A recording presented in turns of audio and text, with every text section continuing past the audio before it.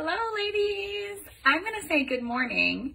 You know what? Janice did tell me what time it is for you guys, but I, I just don't know. So I'm going to say good morning, good afternoon, hello, um, and welcome, you guys. This is such an honor, and I'm so excited to be able to um, come meet you guys and say hello and share a little bit of my tips and tricks when it comes to uh, your time management. So I'm going to go ahead and get started. I think I can see a couple people on. If you're here, please go ahead and comment and say hi. Um, I would love to meet you and get to know you guys a little bit better. But my name is Kristin Miller, and I am a crown princess um, who lives in Boston, Massachusetts. I live here with my husband and our 22-month-old daughter. Hi, Jade. Thank you. Um, and I've been a Senegence distributor since March of 2017. So I just had my five-year anniversary back in March. And it has been a whirlwind ride, as I'm sure many of you guys have experienced over the last few years um, in this business of finding more out about myself, about my um, my passions, my getting my confidence up, all kinds of things. So Senegence obviously is such an amazing blessing. Um, when I was asked to train you guys, um, I was allowed to choose my own topic. And honestly, um, I'm going to train you guys today on one of my favorite topics, which is time management. So um, this is something that has been super important to me at every stage of my business. When I first signed up with Senegence, I was back um, living in another state. I was uh, single. I guess I had a boyfriend who's now my husband, but I was single and I was working a very intense full-time job. Um, and then I moved uh, to another state to chase that same boyfriend who's now my husband. Um, and I got an even more intense job. And so with the time commitment that my full-time career was taking, it became really important for me to understand time management and just being able to make the most of the time that I have and be able to use a calendar and um, to kind of learn a few tips and tricks along the way. And then fast forward to now. So now I am a um, full-time business owner, full-time stay-at-home mom, and it's just another version of um, of time management that I've had to learn. You guys are asking if I if you can hear okay. Let's see. Hopefully you can. Um, I, I'm not sure if there's a sound issue. I, everything looks good on my end, so I hope everything looks good on yours. If you guys could send me some plus signs, some hearts, um, if you can hear me okay, that'd be great. Let's just make sure. I think we're think we're okay. I'm to keep rolling. And if you guys tell me you can't hear me, um, we'll have to work on a plan B. So, um, with that, like I mentioned, I'm home now with my daughter. And so I really have to be very, very um, particular with my time. I have to be able to, thank you, Lisa. I have to be able to utilize it, um, make money, obviously, and, um, and then go, you know, mom full time. So I wanted to share with you guys some of my tips for doing that. Number one, I absolutely, my number one tip is I recommend having some sort of planner. So this is actually my current planner. And the reason for that is because this, um, I know we just got the new Senegence planners. I'm not sure if you guys have those or not, but this is my current planner. I use a planner called the Happy Planner, and I absolutely love it um, because I feel like I need to see it all laid out. Some of you guys might use a Google Calendar. Some of you guys might use your, the calendar on your phone. Um, whatever you're using, as long as it's working for you, keep using that. For me, it's paper and pen, and I do my best work with paper and pen. So I'm still a note taker, and I still like to jot things down, scribble things, sticky notes. That's kind of my um, my best uh, my best way to work. But I recommend having some sort of calendar, right? Because if you don't know what you're even up to, how are you supposed to know what you're doing and when you're doing it and how to do it well? So the first thing I have for you guys is um, to get a planner and um, or to get a planning uh, an option, whether that's electronic or paper. And then, of course, we have to look at what we're filling it with. So I'm sure you guys have heard of the SeneGence Calendar. Joni has trained us many times here in the U.S. on how to use the SeneGence Training Calendar. Um, but if you haven't, the activity is very simple. You can take any planner of any kind, and all you're going to do is you're going to look for um, kind of the day, the daily planner, and, and look at the hours that you have available within a day. Okay. And so let's just say the average person has between 7 a.m. and 10 p.m. available. The um, activity that I want you guys to do is I want you to take your planner each week. You might do this on Sunday nights. You might know in weeks in advance what your schedule looks like. Again, whatever works best for you. But I want you guys to go ahead and I want you to cross off any of the hours within a day and throughout the week that you are completely unavailable to do anything with your um, with your business.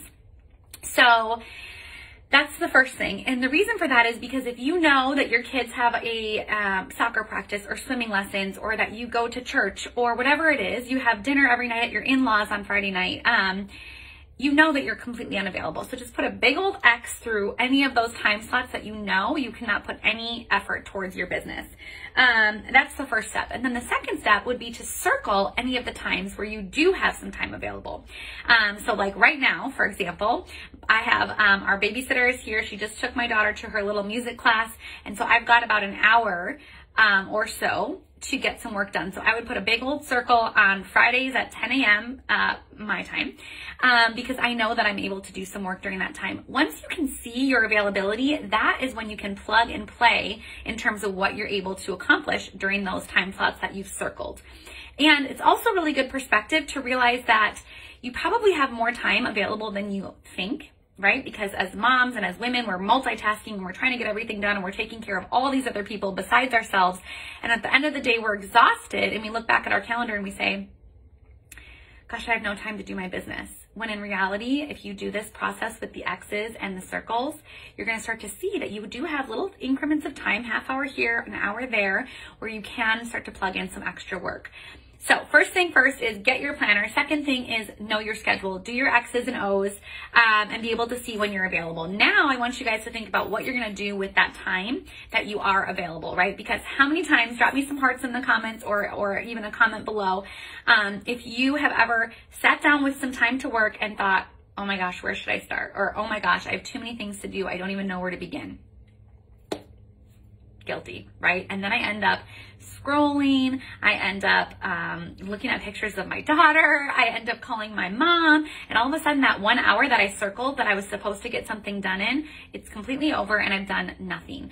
So it's important to know what you're going to do when you sit down to do it. So I want to give you guys a simple rule to follow. It's called the five by five rule, okay? Five by five. So the first thing that you um, can do is you're going to split up this half an hour if it is a half an hour, or if it's an hour, great. You're going to have more time. You could even do five by 10 in that regard. Um, but five by five is a, is a rule for your kind of your 30 minute work time. And you're going to um, spend five minutes doing each of these five activities. So the very first activity I want you guys to do, number one, is connecting with your audience. So this is going to be kind of the fun first five minutes of your of your half an hour because you're going to go ahead and you're going to scroll your social media and you're going to comment and engage with women um, and men that you see in your feed and you're just going to say things like, okay, so for example, Facebook tells us when it's people's birthday, right? So one of the very first things I do every single morning is I go into Facebook, I see whose birthday is it today, and I send them a birthday message. And it's very simple. It's just, you know, hey, Laura, it's, uh, you know, well, if it's a private message, fine. But usually it's just even a post on their Facebook wall. Hey, Laura, happy birthday. I hope you have an amazing day and that your family spoils you. Um, and that's it. Something simple.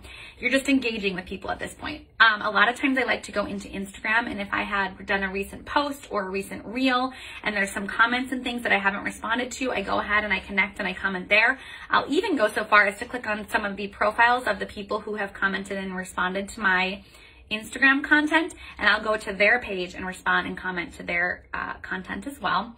Same thing can be said for your own Facebook groups. If people are commenting and liking there, go to their personal Facebook page and make a comment on something. Five minutes engaging, okay? Five minutes connecting. The next five minutes you're gonna be working on is your follow-ups. Okay, there is an entire hour's worth of training we could do solely based on follow-ups. I will save that for another day, but um, you have to absolutely make sure that you're allotting time for following up because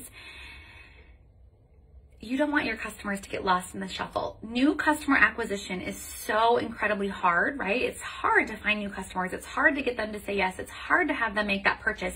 Once you have them, you have got to make sure that you keep them. And so that's where your follow up will um, really, really move the needle in terms of um, reorders, in terms of signing new distributors, in terms of booking new um, events and demos with them, all happens in follow up. So I want you guys to spend five minutes um, during your allotted times to follow up with customers. And the follow up messages that I send, you know, you typically will want to make sure that you ask a question. Um, you'll typically want to make sure that you engage in something other than just feeling kind of spammy, so to speak, with SeneGence. But, you know, Hey, oh, hi Janice, you're here. Good. Okay. Hey Janice, it's Kristin. I'm just following up to see how you liked your tinted moisturizer. Um, I'd love for you to send me a selfie of it if you're if you've worn it already. How are you enjoying your vacation? And that would be ending it with a question asking her to send me a, a, selfie or to post a selfie in my Facebook group. And then of course I want to know how she liked it. It's a very simple message. It goes a long way and you really will start to have um, a deeper conversation with her. Once she responds, she's going to say, I'm loving my vacation. My tinted moisturizer is perfect for it. Um, I haven't got a sunburn at all because of it. And I can't wait to try something else new and then you go from there. Awesome. What does your wish list look like right now? Well, my wish list, I, I really want to try ShadowSense. I really want to try a powder, whatever whatever the list looks like. And you can say to her, awesome, I would love for you to get that wish list at 30% off or 20% off or whatever your hostess rewards are. I have a couple slots coming up in June. Would you like to book one of them? And that leads you to your booking. So following up is just like opening the door and letting yourself have a path to get to the end of the street, so to speak. Okay. The next five minutes you're going to spend on your content. So making sure that you've got something going in your social media accounts today, or even so far as um, an email campaign. I'm not sure what the rules are for you guys on email campaigns, but we send a lot of emails here in the US. Um, an email campaign, uh, creating a graphic, you know, doing a few, scheduling a few posts in your Facebook group, but spending five minutes on your content creation, whether it be for that day or maybe you're really on your A game and you're planning ahead, okay, and working on some content for the upcoming days. But five minutes on your content, five minutes spent, um, on the opportunity, right? So how many women have you offered the opportunity to this week? What were their responses and how can you um, continue to have those conversations with them and really excuse me, I felt that sneeze coming. We have, it's summer, it's almost summer here and the allergies are terrible. So excuse me. Um, but offering that opportunity, following up with maybe people who had told you no a few months ago, hey, I wanted to circle back with you um, and see, you know, how you're doing um, and if you've given any more thought to joining me in this business. I know the summertime for us is a great time to be able to make a little bit of extra money, et cetera, et cetera, et cetera five minutes on your opportunities and then five minutes in bookings. And honestly, your five minutes in bookings and your five minutes on um, follow up probably end up coinciding because you're a lot of times you're going to get to a booking through a follow up message. So you can definitely do those back to back and make that a 10 minute time window. Um, but there you have it 25 minutes. You've done all kinds of amazing engagement conversations, content creation, um, and you're ready to rock and roll. And that's what you can do with 30 minutes. Okay. 30 minutes. So that would be my first tip. My next tip, you guys, is probably an unpopular opinion. So I mentioned earlier that, um, we're women, we're multitaskers, we've got long to-do lists, we're trying to do, you know, baby on the hip, cooking dinner, sending a voice memo, all these things. My best tip and something that I've learned in the last um, probably 18 months or so through personal development and through trial and error is to actually stop multitasking. I know, unpopular opinion, right? We live in kind of a world where it's hustle culture all the time and it's how much can you get done and I got done more than you and my to-do list is shorter than yours and da da da da da. Um, my unpopular opinion is to stop multitasking. So I can speak uh, from the heart on this that when I'm with my daughter, I try to be with my daughter. I am not looking to make comments on put people's posts or respond to messages or do any work really at all. I want to focus on her, but when I'm working, I want to be working. And that comes back to why that SeneGence calendar works so well is because I can see the time slots in my day where I can dedicate to work and I can see the time slots in the day where I can dedicate to family or home or you know, something else that's a priority of yours. So I think the concept of multitasking, there's actually quite a few statistics out there that basically tell you that you are becoming so much less efficient when you try to multitask that you're giving about 70% of yourself to every single task versus being able to give 100% of yourself to a task. And so I think for that purpose and that reason only, I implore you guys to work on not multitasking, not trying to accomplish six things at once, and really honing in on the task that you're doing at the time that you're doing it. If you're trying to spend time with your family, spend time with your family. If you're trying to work, work. Um, and this definitely is a muscle that you have to kind of build up because when I first started this concept, it was very difficult. I would hear ping, ping, ping, ping on my phone. I would immediately want to check to see what it was. I would immediately want to respond. A customer wants to place an order. I would get excited. And all of a sudden I'm back to multitasking versus when I put my phone away. I stick it in the drawer. I leave it upstairs. I put it on the charger. I walk away from it. Um, a, I come back to my phone during that half an hour time and I actually have a lot of work to catch up on. So I'm not kind of pondering what I should be doing or in the scroll hole. Um, and also, B, I just spent some really good quality time with my husband, my family, my daughter, whatever it was. And so once you stop trying to do all the things at the same time and you start designating specific time frames to each task that you want to do, I promise you guys, you will feel much better, number one. And number two, you will become much more efficient and better at what you're trying to accomplish. And then my very last tip for you guys, my third tip is utilize the timer on this weapon that we have right here, which is our phones. So if you're looking to accomplish a lot of tasks within a certain time frame, and this goes for household tasks or life tasks, um, set a timer on your phone, set a 15 minute timer, and you will be amazed what you can get done with a timer when you know that the time is ticking away. Um, and again, this is great for laundry, dishes, vacuuming, you name it, but it's also great for our Senegence business as well because a lot of times, again, you can get distracted or someone messages you when you're trying to write an email and then you stop writing the email and you go to the message and it just kind of ping, ping, pings.